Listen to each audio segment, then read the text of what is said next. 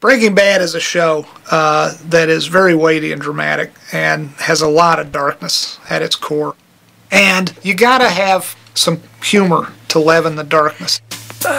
Saul Goodman's character was created in large part as a sort of a leavening agent for the show. We, we knew we wanted a character who was a bit of a clown. Hi, I'm Saul Goodman. Did you know that you have rights? The Constitution says you do, and so do I. We had the idea early on that Bob Odenkirk, whom, whom we all loved from Mr. Show, would be marvelous in this role. Good afternoon. Nice to meet you, Saul Goodman. Nice to meet you. You're not that lawyer on late night television, are you? Better call Saul. I didn't meet with Vince. I got a phone call from my agent saying they're going to offer you a role and you should take it. It's a great role, a great show. And I said, What's the show? Breaking Bad. I called a friend and he was like, Oh my God, that's my favorite show of all time. You've got to do it. So that was a good vote of confidence. What'd you say to Babyface, huh? Didn't you say anything stupid? Bob Odenkirk playing Saul Goodman. Terrific addition to the show when he came on and, and bringing his unique style of, of reality. I mean, he's a comic uh, actor in a sense, but it, wouldn't hold up if there wasn't a sense of reality and honesty to it. And that's what Bob is able to do, much better than our first choice, which was. Um, uh, who was our first choice? No, just kidding. Bob Odenkirk is much more professional than any of us. So in between takes, you know, we're just we're eating, you know, chips, Doritos, and water, and uh, Bob's just sitting in his chair, just focused, and we're just joking around. And Bob doesn't want to be bothered. You know, he's just uh, he's a professional actor, and um, we're just we're just lucky to have a job. The thing I love about Bob is when I first met him, our first conversation was, in fact, about what does Saul's hair look like. He said, I really think uh, Saul Goodman should have kind of a mullet. You know, business in the front, party in the back. That's uh, that's what he wanted. He laughed and he said, uh, That sounds awesome. So here's what I got. See, these are pieces. Comb over, right? Starts way down here. And then if you look in the back, there's more pieces. And uh, they give me the semi mullet. His office was built to intimidate and impress a bunch of homeboys and gangsters who think, well, here's the law, there's the Constitution on the wall behind him, and pillars. Must he must be important.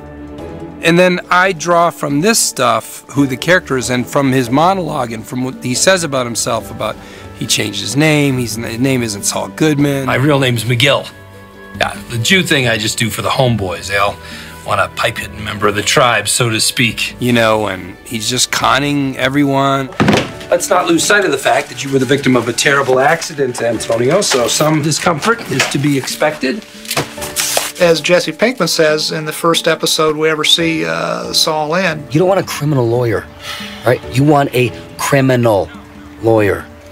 and yet he is a very good advocate for his his clients, just so long as you pay his bill and you do not use American Express. Mr. Ehrmantraut has become the subject of a vicious, uh, relentless, and unwarranted DEA persecution. Saul's verbosity means I have a lot of studying to do with every script I get. These are long monologues, they're kind of circuitous logic oftentimes. Uh, a lot of times, Saul is sort of testing the waters with what he's saying. You guys quivering in the bushes and peeping through your little binoculars. It's, well, it's disturbing. and it's taken a toll on his mental and physical well being. Clown looks fine to me. Well, some hurts only show on the inside. Bob Odenkirk does Saul just phenomenally. Sometimes I just find myself enjoying his performance. You know, I have to bring myself back into the scene because I enjoy watching him uh, do his shtick. Where'd you get your law degree, Goodman? The same clown college you got that suit. You know who likes his suit? Judge Papadumian. She thinks I'm a snappy dresser. You know what Judge Papadumian hates? Police harassment of a senior citizen. Sorry. Saul Goodman, of course, is absolutely hilarious at times. The moments I like best are when uh, Saul Goodman is actually in a life and death situation and serious as a heart attack. You're not Clarence Darrow, Saul. You're a two bit bus bench lawyer. And you work for me. Yeah, well, Clarence Darrow never had a client like you ask him for something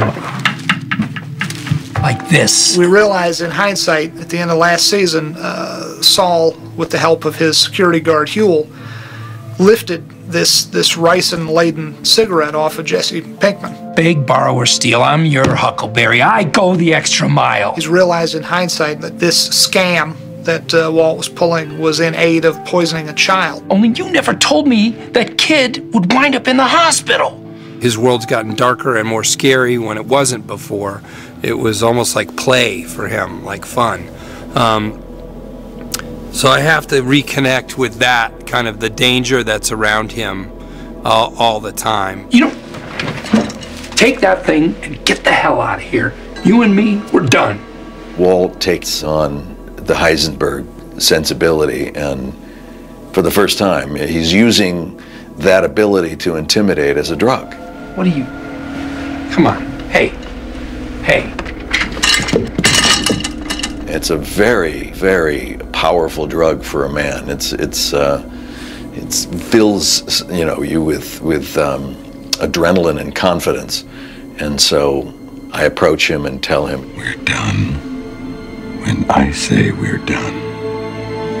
Bob told me later. He said, "Man, you really scared me." I went, "Oh, that's good." Unfortunately for Saul, he doesn't quite have the uh, the moral fiber and the uh, innate courage of Jesse Pinkman. Saul, at the end of the day, he'll he'll make a big noise about how Walt is the devil, but he will continue to work for the devil because he values his own neck.